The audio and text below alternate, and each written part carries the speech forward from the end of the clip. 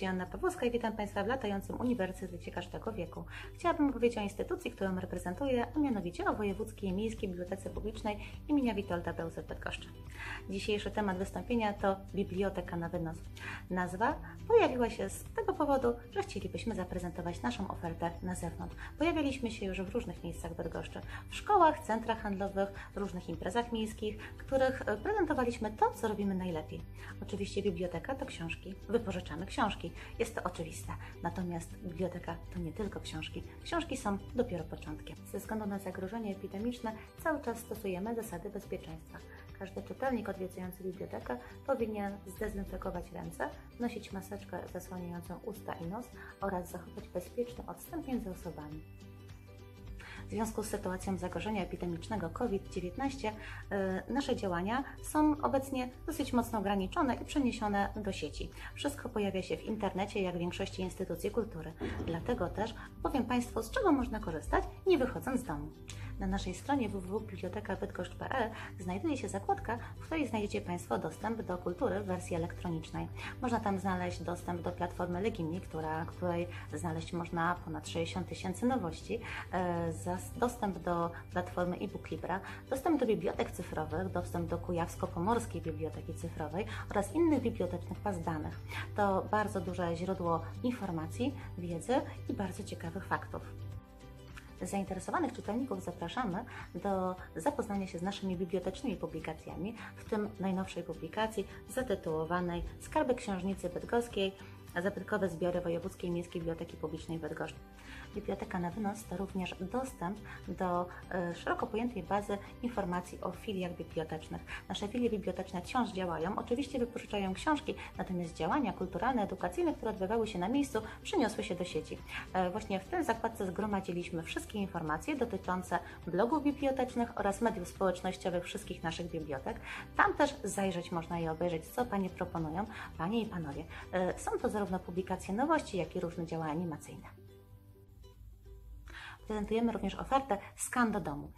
Skanujemy książki, czasopisma oraz inne dokumenty, które znajdują się w naszych zbiorach. Wystarczy do nas napisać maila, określić, z czego Państwo chcieliby korzystać i wówczas przesyłamy te zeskanowane elementy do Państwa na adres mailowy. Głównym naszym źródłem informacji są nasze media społecznościowe, zarówno Facebook, jak i Instagram, nasza strona internetowa. Tam wszędzie znajdują się informacje o tym, co robimy aktualnie, co planujemy, co w najbliższej przyszłości. Znajdują się recenzje książek, znajdują się różne instrukcje typu zrób to sam, e, albo ciekawostki biblioteczne. Można zajrzeć i zobaczyć, jak wygląda życie biblioteki teraz, kiedy wszystko jest ograniczone. Zapraszamy również na prezentację online Biblioteki Bernardynów, która mieści się w gmachu Wojewódzkiej Miejskiej Biblioteki Publicznej w Bydgoszczy. I tam znajdują się najstarsze i najcenniejsze dzieła e, zachowane w naszej bibliotece. E, można je teraz obejrzeć w domu. Wystarczy kliknąć w link i obejrzeć sobie salę Królewskiej Sali Bernardyny. Zadanie jest sfinansowane z zadania Kultura Zasięgu 2.0. Zapraszamy serdecznie. Antykwariat działał w bibliotece już wcześniej.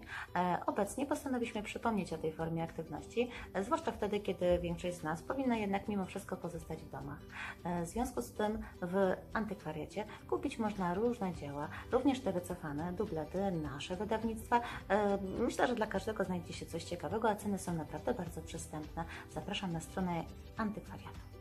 Opowiedziałam Państwu do tej pory o tym, co robimy online, ale też chciałabym powiedzieć o tym, co robimy fizycznie. Wypożyczamy książki. Pod tego jest właśnie biblioteka. Zapraszamy do naszych filii bibliotecznych, zapraszamy do biblioteki głównej, zapraszamy również do czytelni. E, co więcej, zapraszamy na kiermasz. Mamy kiermasz tanie książki. Są to książki, które są wycofane z naszych e, zbiorów. E, różne gatunki, romanse, sensacje, coś dla dzieci. Zapraszamy na ulicę Jana Kazimierza, gdzie można kupić już od złotówki bardzo ciekawe pozycje, czasem takie, których nigdzie już Państwo nie znajdą. Mamy także coś dla dzieci. Jako, że są wakacje, prezentujemy wakacyjne zajęcia online zatytułowane Wirtualne podróże po Polsce. E, na wszystkich filiach bibliotecznych odbywają się zajęcia, które prezentowane są zarówno na Facebooku, jak i blogach bibliotecznych, które dotyczą różnych miejsc w Polsce. Ale to nie wszystko. Na dzieci czeka również konkurs. Jako, że biblioteka stała się ambasadorem konkursu na 75. urodziny Pipi, e, prezentujemy konkurs Lato z Pipi. Jest to konkurs dla dzieci, ale nie tylko, ponieważ potrzebni są im do pomocy dorośli, więc kolejne działanie, które jest wielopokoleniowe. Zapraszamy.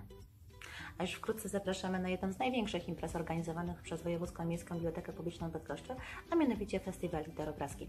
W tym roku dziewiąta edycja. Jest to edycja inna niż poprzednie, ponieważ w całości odbywać się będzie online.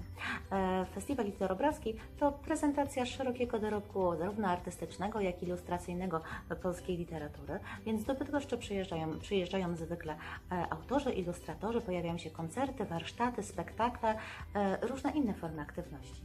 E, tym roku zapraszamy do działań online. Niestety epidemia spowodowała, że działania fizyczne są niemożliwe, ale już mamy nadzieję, że wkrótce, e, w przyszłym roku, kiedy będzie dziesiąta jubileuszowa e, edycja festiwalu, spotkamy się wszyscy w gmachu biblioteki i zobaczymy tutaj zarówno dzieci, jak i dorosłych.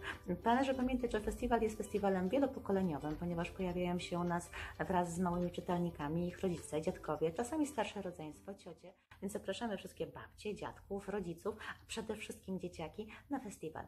A żeby pamiętać o festiwalu, e, zrobiliśmy dla z wszystkich konkurs. Konkurs fotograficzny, wakacyjny konkurs fotograficzny z książką w tle. Wszelkie szczegóły znajdują się na naszej stronie bibliotecznej, biblioteka www.bibliotekabydgoszcz.pl. Zapraszam. Zapraszamy Państwa serdecznie na naszą stronę internetową oraz do mediów społecznościowych, gdzie znajdują się wszystkie informacje dotyczące naszej aktualnej oferty bibliotecznej. E, liczymy na to, że wkrótce spotkamy się wszyscy osobiście. Chciałabym nadmienić, że wszystko, co dzieje się w bibliotece, odbywa się bezpłatnie. Już wkrótce. Do zobaczenia.